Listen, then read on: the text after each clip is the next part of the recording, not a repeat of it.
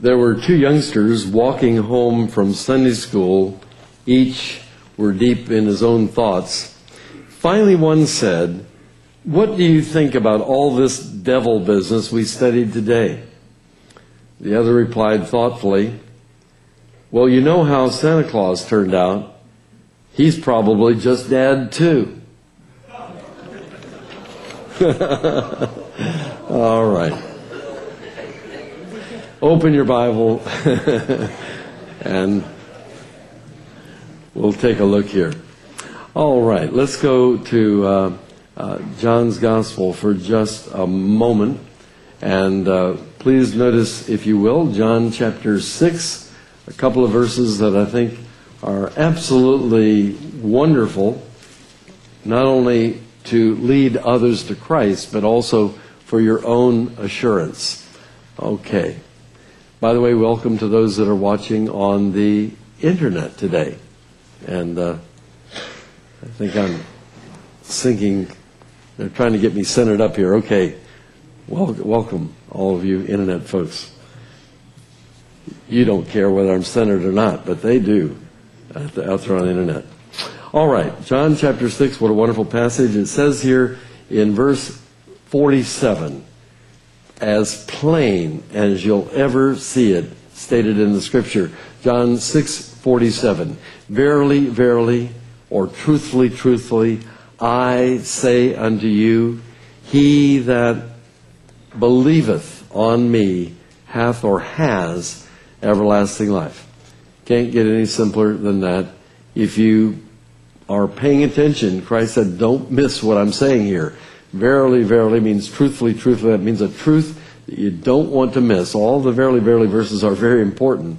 And he says, I say unto you, please notice here, this is Jesus who is the God man, and this is God speaking when he speaks. And he says here, I say unto you. You see that throughout John's gospel when Christ is quoted. He doesn't quote others, he says, I say unto you. This is what God says, the God man, the Lord Jesus Christ. And he says here, He that believeth, that word means to trust. He that trusteth on me hath, or it should read in modern English, has, has everlasting life. If you believe on Christ, according to this verse, present tense, right now, you possess everlasting life. And that means what? It'll still be everlasting life tomorrow, next week, a year from now, 10 years from now, 100 years from now. And obviously, that means that you're going to go to heaven whenever you die. You have everlasting life, and your soul will live on into eternity and can never be lost once you become saved. It's amazing how many churches believe you can lose it. And if you believe you can lose it, you're really saying that you have to work to get it or keep it, and that means a false plan of salvation. And we're not saved by works. I had a church that wanted to rent some of our facilities here, and I said, Show me your doctrinal statement. Well, they sent it over, and it was interesting. You didn't have to read very far, but it says, The security of the believer is conditional. And then, oh boy, they listed all the things that you had to maintain or do to maintain. That was the end of that. I said, sorry. the believer's security is conditional. It's not conditional. It's unconditional. It's based upon what God has done on our behalf. In any case, you'll find most churches, the majority of them, most denominations believe you can lose it. And what does that mean? It tells you right up front, you don't really want to go there. And their message is really flawed from the get go because they believe that you can lose it. Every Roman Catholic believes they can lose it. That's what Roman Catholicism is all about. The Greek Church and so many denominations. I could m- mention all the smaller ones, but there's hundreds of them, and they believe they can lose it. I was raised in a church just like that. I'll never forget when I got saved. I uh, thought that it would be something well applauded in my church if I told them about it. So I went back, finally, when I began to open my mouth about my salvation, I shared in church that I knew I was going to heaven. And uh, I found out that that didn't go over well. I found out that all of a sudden I was in the midst of a controversy. I found it wasn't long that I was whisked into the presence of the pastor. And he said, What's going on? And I said, I've been telling people that I know I have eternal life. I'm saved. I'm going to heaven when I die. And he says, Well, you can't know that. And I said, Well, I do. And he said, Well, you can't know that. And I said, Well, I do. And I didn't know a whole lot, but I knew a couple of verses like this one and 1 John 5:13 that says absolutely if you believe on the Lord Jesus Christ that you have H A V E or in this verse here he that believeth on me has everlasting life. I have it. And I have it because the Bible says so. I didn't realize what controversy would break out over that, but it sure did because it was clear they were saying what I had thought they had said all my younger years that you had to work your way to heaven, that you had to wait till after you died. When the scale was brought out and the works were read out of the big book, and they applied weights representing good works and bad works on the scale, and you watched the scale fearfully, hoping it would tip in your favor that you had done more good works than bad works and it would let you into heaven. Well, what a wonderful thing it was to discover what the Bible had to say, and we can be fully assured. Verse 37 says, Him that cometh to me I will in no wise cast out. You'll never be lost. Verse 39, even better, he says that he would not lose one person who has ever trusted Christ as their Savior. Turn, if you will, now to Hebrews chapter 10 for just a moment. Hebrews chapter 10. Hebrews chapter 10. And I'm still heading there. So I'll give you the page number when I arrive in Hebrews chapter 10.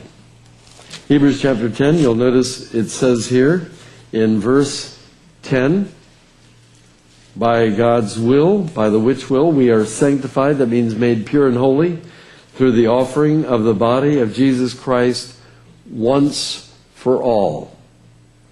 What is interesting is that the Bible says it's a done deal, it's once for all, Christ paid for all sin, it's settled. But then notice verse 11 talking about religion.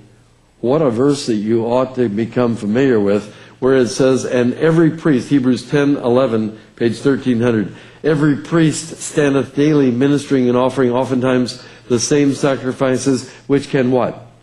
Never, never, never take away sins. Isn't that amazing? What a contrast. Here we have Christ who made one sacrifice that paid for all sins for all men forever. That same doctrinal statement that I referenced a moment ago said that Christ did not pay for your future sins.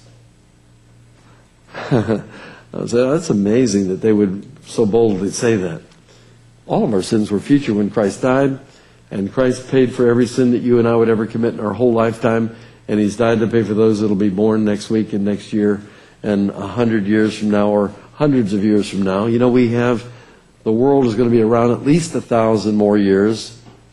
Christ will come for us at the rapture, then there'll be seven years of tribulation, and then Christ will return physically to rule on this earth for a thousand years, and there'll be people born, be being born all throughout that entire thousand years. They will all need to know Christ as their Savior to be saved. And uh, we find that Christ has already paid for their sins. Notice it says here in verse 14, By one offering he hath perfected for how long? Forever them that are sanctified. Now, I want you to go down to verse 17 where he says, Their sins and iniquities, God says, will I remember no more. Their sins and iniquities will I remember no more. They're gone, gone, gone, gone. Uh, the Bible says, as far as the east is from the west, back in Psalm 112. They're gone and uh, never to be remembered, it says in verse 18. Now, where remission of these is, there is no more or no additional offering needed for sin. Christ, one payment, did it forever. Now, I said all that to get you to verse 22, where it says here, let us draw near with a true heart and look at the words full assurance of faith. Full assurance of faith. It occurs twice in the book of Hebrews. And I'll never forget, as a young believer, I read a book by Harry Ironsides called Full Assurance, published by Moody Press.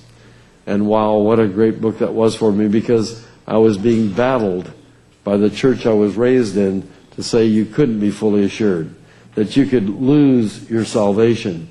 And here I was wrestling with the passages that they would throw at me. What a wonderful book that was. Full assurance. And I saw these phrases for the first time that I could be fully assured. And I love that hymn as well. It's a favorite of mine. We close out our Sunday evening service every week with that. Blessed assurance. This is my story. This is my song.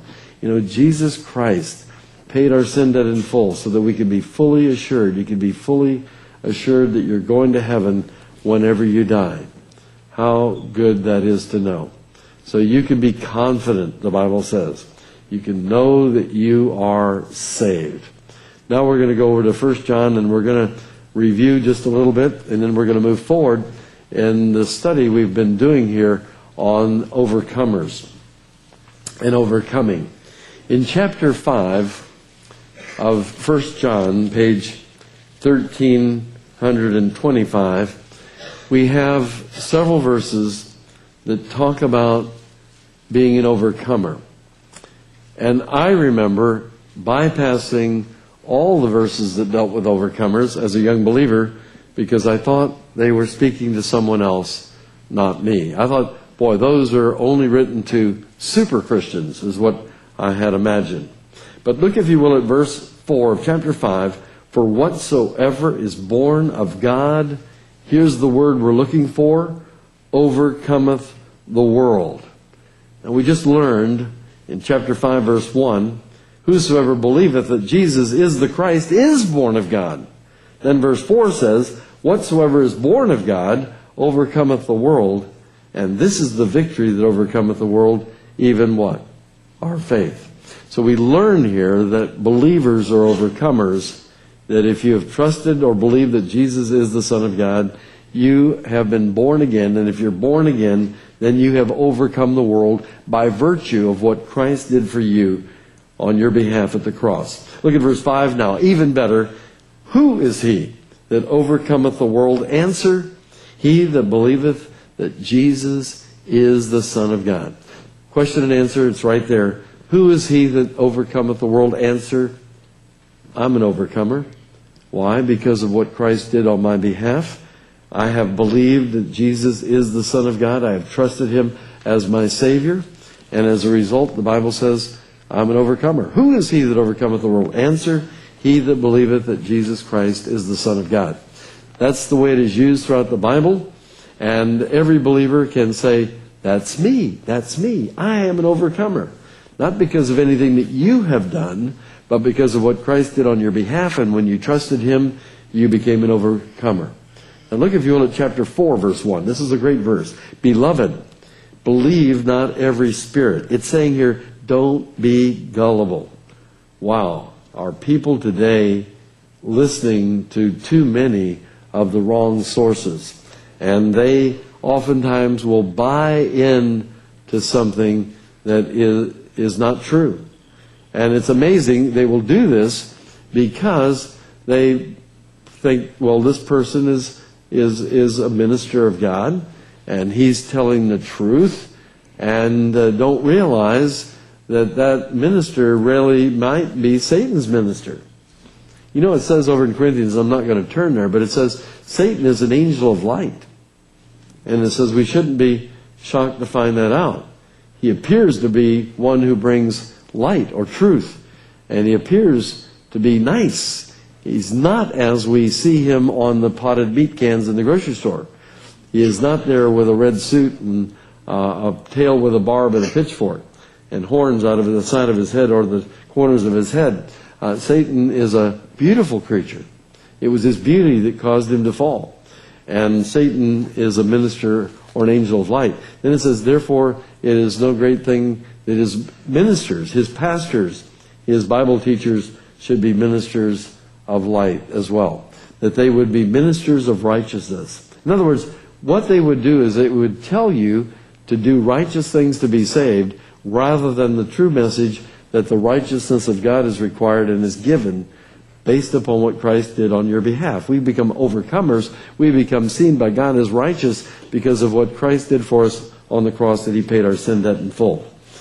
So it says here in verse 1, Beloved, believe not every spirit, but test the spirits, whether they are of what? God.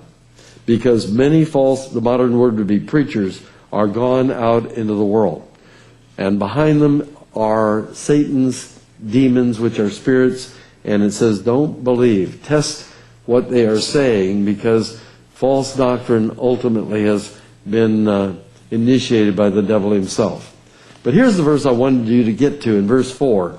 You are of God, little children, and have overcome them. And there, again, we see the word overcome used. And the them here is the spirits, the false prophets, uh, the false teachers, uh, Satan and his whole realm. And it says, You are of God, little children, and have overcome them. Why? because you have worked hard and been baptized and joined the church and you're giving money and you're praying. No, none of those things. It is not dependent upon what we have done, but upon what He has done for us. You are of God, little children, and have overcome them, the demons and spirits, because what? Greater is He that is in you than He that is in the world. Christ dwells in us. And because we have believed that Christ is the Son of God, He comes to indwell in our bodies. And because Christ is greater than the devil, we, as a result, have overcome the devil. And therefore, we have overcome them, the spirits, because greater is he that is in you than he that is in the world. Isn't that great to know? Doesn't that pump you up? Doesn't that make you feel a little bit courageous? Doesn't that make you feel like you can go out and tell somebody about the gospel? Because you are an overcomer. You have overcome Satan and his gang, the demons. And it's not because of anything that you have done, it's because of what God has done for you in Christ at the cross. It says here, You are of God, little children, verse 4 1 John 4, and have overcome them, the demons, the spirits, the false teachers, and so on, because greater is He that is in you than He that is in the world. We all ought to be able to stand up and speak out and be strong with the gospel of Jesus Christ because we have full assurance, as we read there in Hebrews 10:22. We need to come having full assurance. You ought to be able to say, "I know I have eternal life." And we found that this morning. If you were in the early celebration of the Vacation Bible School, we had kids raising their hand, responding to questions, and saying they knew the answers and they knew they were going to heaven and they had eternal life and so on, all based upon the fact that they would the Bible had to say. A little girl up front said, I know a lot about God. I said, most adults would be fearful of taking you on uh, because she was confident in her faith as a little girl, knowing these things come from God's Word. So we're all overcomers if you're a believer here this morning. And as a result, there are wonderful promises to the overcomer. We've covered some of them in the book of Revelation. But I think I'll jump all the way to the end of Revelation to look at one, and then we'll back up and fill in the blanks here. But turn, if you will, to chapter 21 of the book of Revelation. And by the way, I don't want to distract you by telling you this, but I went ahead and typed them all up for you. These are most most of the overcoming verses in the Bible, all right there for you. So you might find that a nice little study sheet uh, to go back and review with. But chapter 21, verse 7 says, He that overcometh, and who is an overcomer? 1 John 5 5, I'm going to quote it. Who is he that overcometh the world? He that believeth that Jesus Christ is the Son of God. So here we have it. Put that in the margin if you have to. But it says in verse 7 of Revelation 21, He that overcometh shall what? Inherit all things. Wow. What a statement. Have you ever learned of an inheritance that you may have or are going to receive? That probably gets your ear perked up. But look at what this says. Woo, man, I have really hit the jackpot. As a believer, I am an overcomer, and it says, He that overcometh shall inherit what? All things. I'm rich.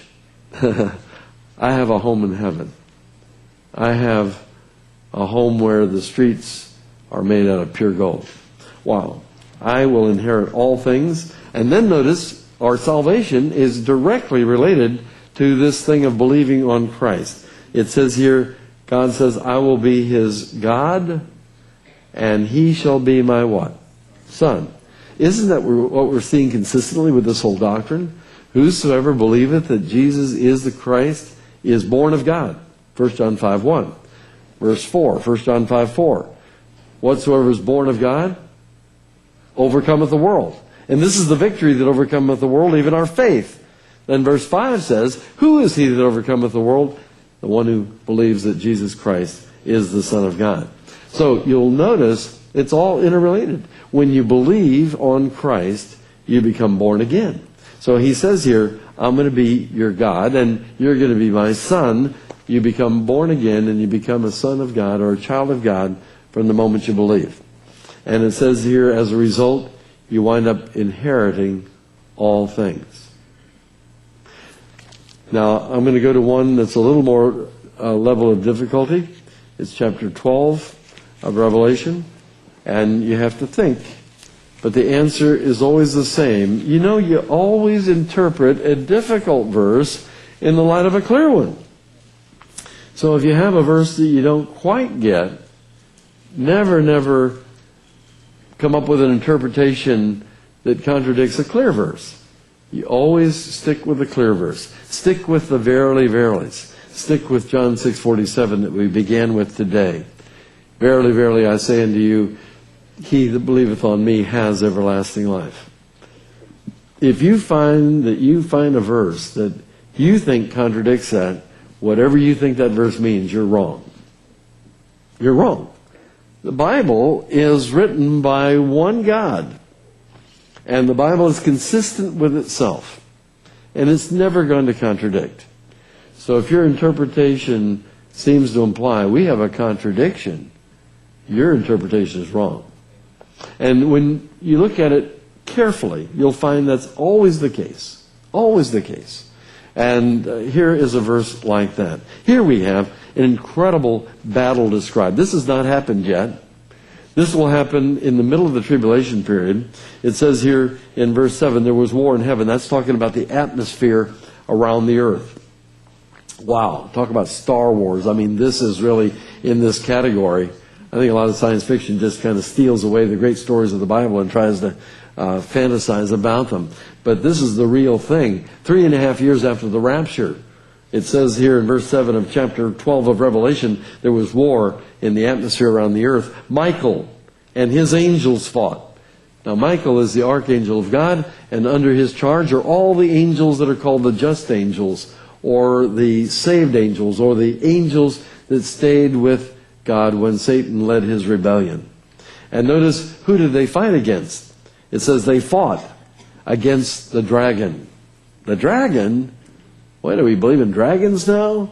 Well, look at verse 9. The great dragon was cast out, that old serpent called what? The devil and Satan. So Satan is the dragon, and he's described as a dragon. And we find here that there's a battle that's going to take place in the atmosphere over the earth. The dragon fought and his angels. And notice verse 8 we learn real quickly who wins. The devil did not win. He prevailed not.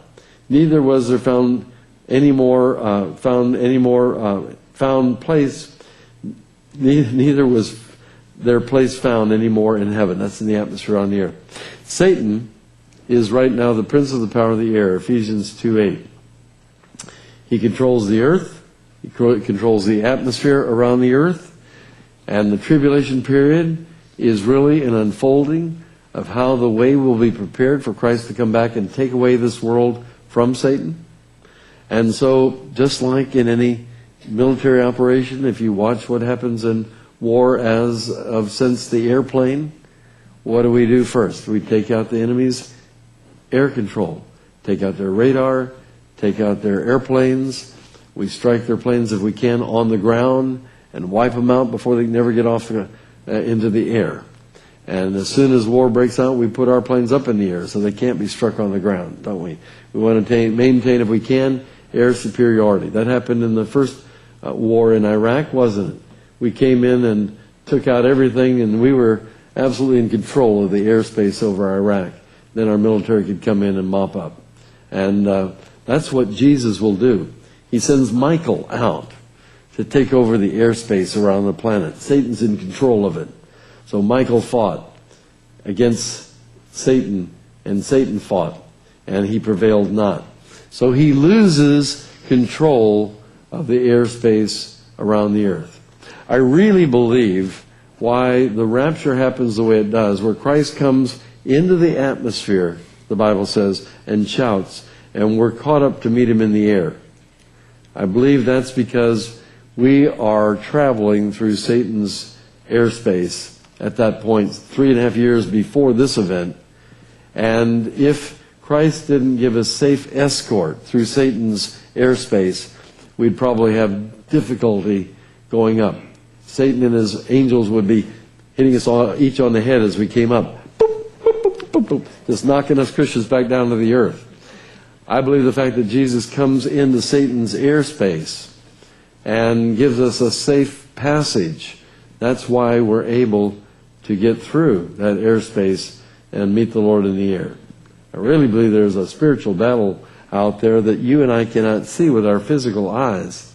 And uh, the demons, Satan's angels, would love to prevent this from ever happening. And so the rapture uh, only happens because Christ comes into Satan's territory. And we find here that verse 9, the great dragon was cast out. And uh, he was cast out, according to verse 9, into the earth. And his angels were cast out with him. So he loses control over the airspace. Now, it tells us here about believers that Satan is the accuser of in verse 10. And in verse 11, it says, These believers, they overcame Satan by what?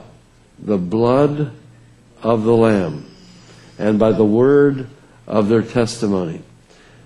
Now, it says here they overcame him, notice, by the blood of the Lamb. That's again what happens when you get saved. We are what? washed in the blood. We sang two hymns about the blood today. Did you pay attention? There are a lot of churches that are not singing about the blood anymore.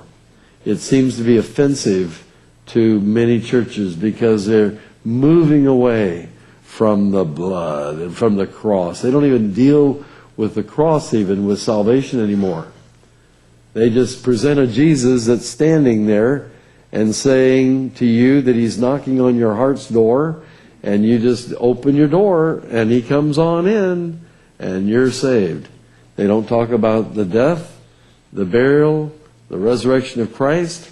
They don't talk about his shedding any blood and making a payment for your sin. They just say that Jesus wants to come into your heart. That's totally unscriptural to begin with. There is no reference that says to invite Christ into your heart or to your life to be saved. We simply trust Christ. And so there are dozens of things that preachers recite that God never said. Did you know that? There are preachers saying things that God never said all the time. Hold your place here. I just got to show you this with you. It's too exciting. Jeremiah 23. We'll come back. Don't lose Revelation. But Jeremiah 23. Here, God talks about preachers, and this is about right now. It was spoken thousands of years ago, but it's talking about now. How do I know that? Well, I'll, I'll share that with you right now. I want you to notice verse 20 of chapter 23, page 796 in your Scofield Bible. It says in verse 20, The anger of the Lord shall not return until he have executed, till he hath performed the thoughts of his heart. Look at the next phrase here. In the what days? Are you marking it in your Bible? In the latter days. Verse 20. Chapter 23 of Jeremiah. In the latter days, ye shall consider it perfectly. We're considering it right now. Isn't that amazing? Here we are in the latter days. How do we know we're in the latter days? The latter days are defined in the Bible as when the Jewish people, after 2,000 year dispersion, would go back to their land. We're living in the latter days right now. And it says, in these latter days, we would consider this perfectly. we can see what God has said here in Jeremiah, probably uh, 2,600 years ago, a reality today. It talks about preachers saying things that God never said at all. It says here, notice in verse 25, I have heard what the preachers, the Old Testament word here is prophet, I've heard what the preachers say that prophesy or preach lies in my name, saying, I have dreamed, I have dreamed. How long shall this be in the heart of the preachers that prophesy lies? Yea, they are preachers of the deceit of their own heart. He says, as you go further down here, he says uh, in verse uh, 31, I am against the preachers, saith the Lord, that use their tongues and say, He saith. And what he's saying here is, I didn't say that. I didn't say that. But they're saying that I said it, and I didn't say it. And so God says, that, that kind of makes me mad. Doesn't that make you angry when somebody says that you said something you never said? I mean, I didn't say that. I didn't say that and that makes you angry. Well, God gets angry when people say things that God said and He never said them. And that's what it's saying here. And so the Bible here talks about that exactly. Well, we know that uh, we are saved when we are washed in the blood. And the blood is, of course, something that is not being preached on or sung about as much anymore, unfortunately. But uh, we believe that it's important to talk about the blood of Christ. They overcame him by the blood of the Lamb, and then it says here by the word of their testimony. We've talked about this before, but the word of their testimony is referring to the testimony that Christ or God gave concerning Christ that you and I have believed that then becomes our testimony. The testimony of the believer is not you standing up and talking about some Christian life experience or how God has worked in your life or how God has raised you up from an illness or got you through a financial difficulty or another problem. It is you're telling us that you have believed the message that God gave concerning His Son of the death, the burial, and the resurrection, that you have embraced and believed, and it has now become your testimony. So this is how they overcame the devil by saying, I have, as Jesus said in John 6:47, believed on him. And therefore I have everlasting life. And he promised me he'd never cast me out. And he would never lose me. So therefore I can constantly have full assurance because he said so. And so here, this is all talking about in the, the first phrase and the second phrase that we're saved by Christ, the blood of the Lamb, and by the word of our testimony that we have come believing on Christ as our Savior to be saved. If you come in any other name or come in any other way, you cannot enter heaven. Christ said, I am the way, the truth, the life. And he said, No man can come unto the Father but by me. So when you approach God, unless you're coming in the name of Jesus or Yeshua, He's not going to let you in. That's what it's about in Matthew 7.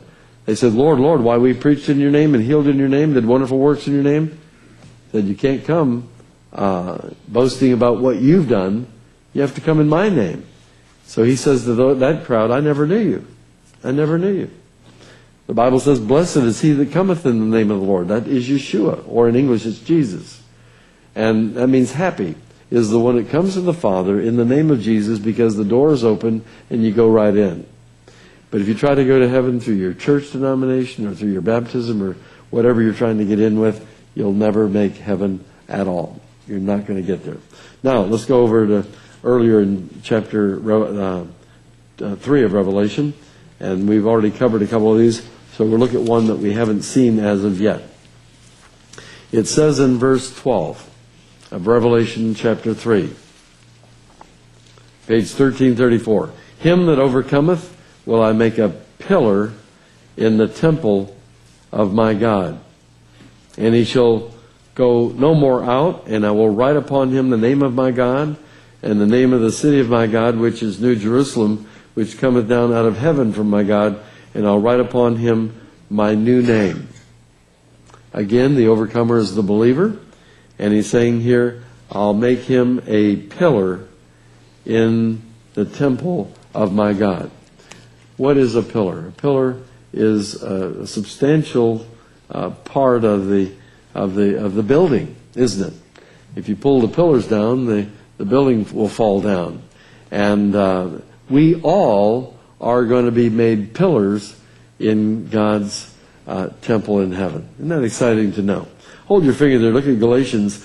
You know, when Paul got saved, uh, he got saved after the other apostles. And when he went to the other apostles and shared what he knew, they couldn't contribute anything to what he knew because he had been personally taught by Christ, and what he had received was by revelation from Jesus himself.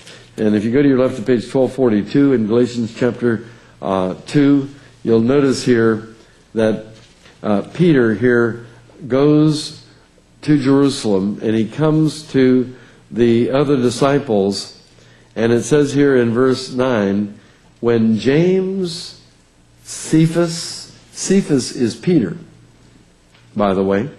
Galatians chapter 2 verse 9, when James, Cephas, and John, who seemed to be what? Pillars, notice, perceived the grace that was given unto me, they gave to me, notice, uh, and Barnabas, the right hands of fellowship. They said, we're, we're on the same page. We believe the same thing. And these men, uh, and it names three here, James, Peter, and John, were pillars in the early church. And what did that mean? They, they were strong for the faith. They stood up for the faith. They were looked to as leaders in the faith. And uh, they were therefore pillars and uh, very, very, very essential members of uh, the early church. And the Bible says here in Revelation, because you are an overcomer, that you also in heaven are going to be seen by God as very important, very important to the building, to the structure, that you are going to be a pillar. And that tells me that we'll all be pillars even as James and Peter and John were pillars. We'll all be pillars in heaven. Not because of anything we've done, because of the grace of God. And when they perceived the grace that had been given to Paul, they included him. They said, Come on. They gave him the right hand of fellowship and included them. And so we're going to really be uh, elevated right to a very high position as uh, believers in heaven. And if that weren't enough, let's go over now to verse 21. To him that overcometh, and again that's the believer, will I grant to sit with me in my throne. Jesus Christ is the God man. He's God. And he will one day sit upon his throne, ruling over the universe. And notice what it says here. I will grant permission to you that are overcomers, that are believers, to sit with me in my throne, even as I also ever, I also ever overcame and am set down with my Father in his throne. Isn't that amazing? Though Christ, who overcame on our behalf, was exalted in heaven upon a throne, and so when we get to heaven, we will be allowed by Christ to come and I just envision climbing up in his lap and sitting in his throne with him. Can you imagine how exciting that would be? You know, as a as a little boy, maybe you have done this as a parent. You get your little child and put him in your lap, and you kind of teach him to drive in a hopefully a big open park and line a safe place, and and they're just so excited to be sitting uh, in that place of control where uh, you're teaching them how to drive the lawnmower or the or the car or whatever it is. And of course, that's nothing compared to, can you imagine, sitting on the throne where the whole universe is run? I mean, there is no more important place. I've gotten a chance to visit down here at uh, MacDill where they ran the Gulf War and where all the team members are that uh, sit there, and that's the war room. That's where they run the war. And uh, I, uh, it was uh, just amazing. And they had several, uh, an admiral and some, you know, big top generals in there that gave a little talk while we were there. But I thought, wow, I'm here in the very room where all this power is controlled. The armies are told what to do and they're running the war from this room and I'm standing in this room and I'm here where it's all happening.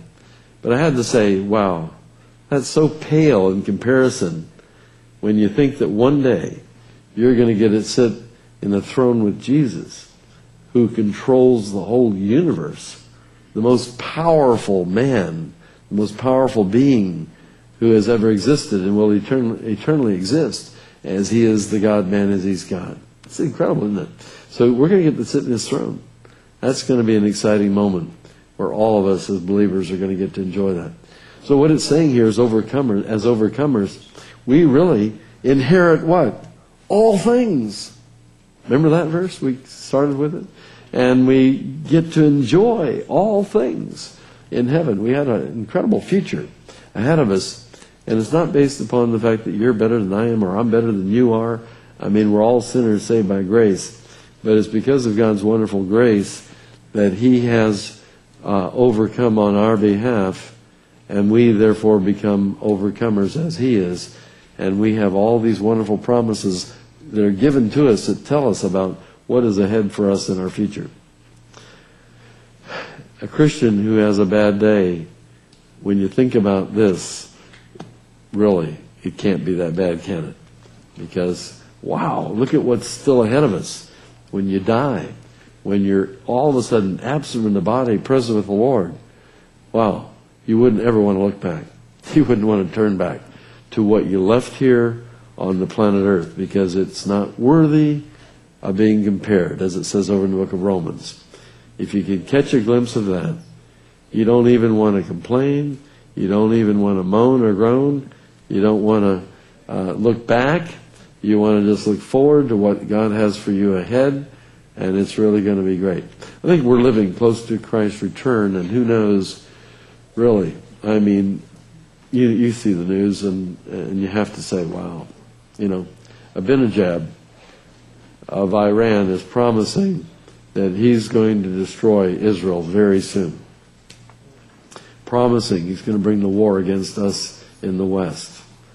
A madman, really who wants to use nuclear force against us. There's so many things happening. And the potential is there. If they could have the nuclear bomb now, put it on a ship, float it into one of our harbors, detonate it without it ever coming off the ship. And the Tampa Tribune last year had a full page about that, and it showed the destruction for 25 to 30 miles from the point of, of that bomb going off. Can you imagine if a ship floated right into Tampa Harbor? That's what they had in the paper. They showed it right downtown Tampa, floating in and then being detonated, and how that you could just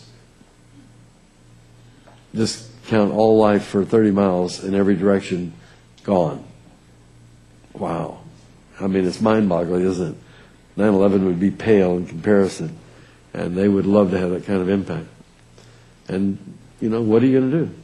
We just know that we're leaving at the rapture. That's what I know.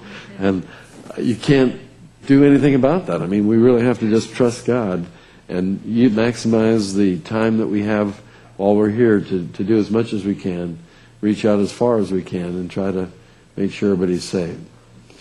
We've had several deaths and several serious uh, accidents and and medical problems with people here lately in our own church it's something that we need to realize that it could be any one of us. And we really need to make sure that our families are saved. I know that uh, there's a person within just a few feet of me is telling me we're, my wife and I, we're, we're making a list. Uh, not a Christmas shopping list. We're looking, making a list of people in their family that need to be saved. And we're going to go after them. We're going after the family. And I think really Christians have to, you have to do that. Be aggressive. Start asking yourself, who still is not saved in your family? And what are you doing to reach them? Because you don't want to wait till after the rapture's happened to do that. You need to do it now. And maybe even make plans to leave behind a message should you be raptured out that they would find. A lot of people like to put with their special papers a written testimony or an audio tape or a videotape. I did a funeral a couple of years ago that they had now they have you know video and and here was the man who had died telling how he trusted Christ and he said in his testimony don't worry about me I'm in a far better place but I'm worried about you that you may not join me unless you trust Christ as your Savior as well. I said, boy, this guy, you know, had a plan, didn't he? He knew he was dying. He was getting older. And he sat out back on the swing and had his daughter videotape that. And they played it at the funeral. I said, I've never seen anything more powerful than to see the deceased up on the screen telling those that were at his funeral how they needed to know Jesus as their Savior. I said, wow, what a great idea. I want to pass that word along that you might think of doing that. Just sit down with that video camera, tell your testimony. Should you ever die, have someone know about it so that they would see that it gets played for all those who come. Wouldn't you want to say that word to those that are left behind if you passed away? Wouldn't you want to share that with them? And I'll tell you, there's nothing more powerful than you saying it. There's no preacher that could have the impact you could have. That if you would share it, it would really powerfully, powerfully impact those that are left behind. Think about it. What can we do? Well, I think we ought to be creative and figure out ways that we can get this message out. And there are lots of ways that we can do that. So plan ahead. And uh, funerals can be an opportunity to win the living to Christ. And I think we ought to plan on doing that. Let's go ahead and, and, and bow in a word of prayer.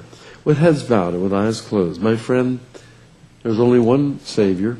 There's only one way to enter heaven, and that's Jesus Christ. And if you're here or you're watching on the internet, wherever you might be watching from, and you're not sure about where you would spend eternity, you need to really think seriously about this and put your trust in Jesus Christ as your Savior because He is the only entrance to heaven the only way to be saved. He is the only Savior. And right now, you could whisper a prayer between you and the living God, and you could say, God, I'm a sinner. I don't understand a whole lot about the Bible, perhaps, but I believe Jesus died for me. I believe he shed his blood and paid my sin debt in full. I believe he was buried. I believe he rose again from the dead. I trust Jesus Christ right now to save me, to forgive me, to give me the gift of eternal life. The moment you do pray that prayer. God saves you. And you have His Word, which He's never going to change. To go back and review that He says that you have eternal life at the moment you believe. If you're looking for a feeling, don't. We're never told to look for a feeling. If you look for a feeling, you probably will be very up and down in your assurance.